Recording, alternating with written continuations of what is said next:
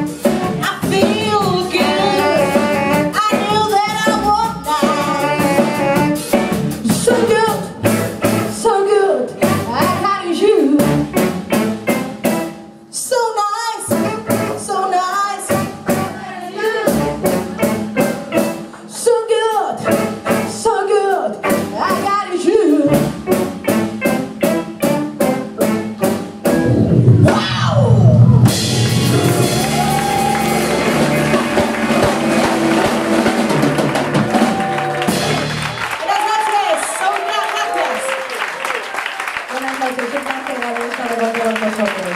Gracias.